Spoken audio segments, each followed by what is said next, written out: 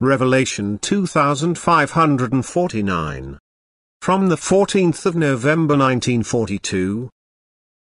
Redemptive activity on earth, important task.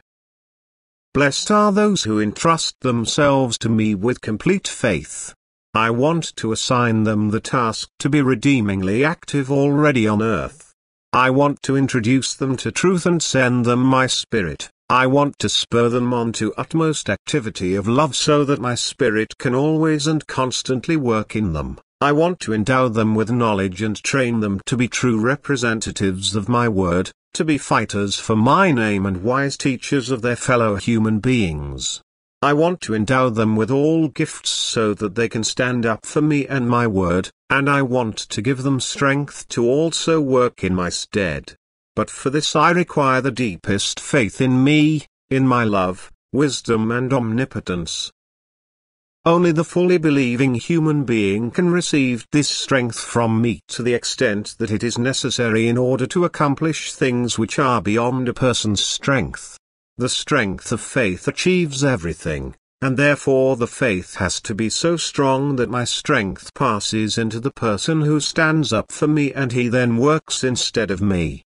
It is the gifts of the Spirit which make the human being fully faithful. It is my word which stimulates the human being into increased activity of love, and therefore my word alone is able to bring faith to such strength that I myself can work through the human being, for anyone who has my word and lives accordingly, who listens to me and endeavors to live a life of love will be enlightened by my spirit, and then he will also recognize me as the most powerful, wisest and lovingly capable being.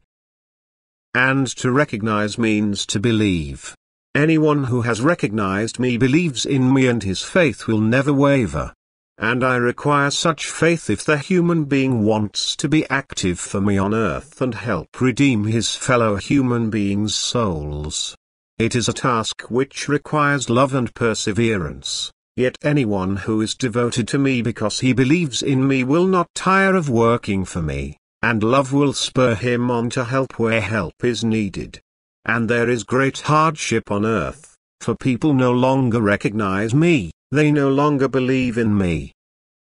If faith is to be brought to them again then they have to be taught. They must be offered knowledge which slowly leads them back to faith.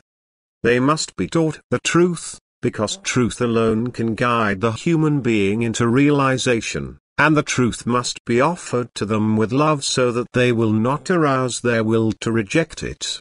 People must be prompted to think and admonished to be lovingly active, and anyone who follows these admonitions will then also learn to recognize what he previously rejected.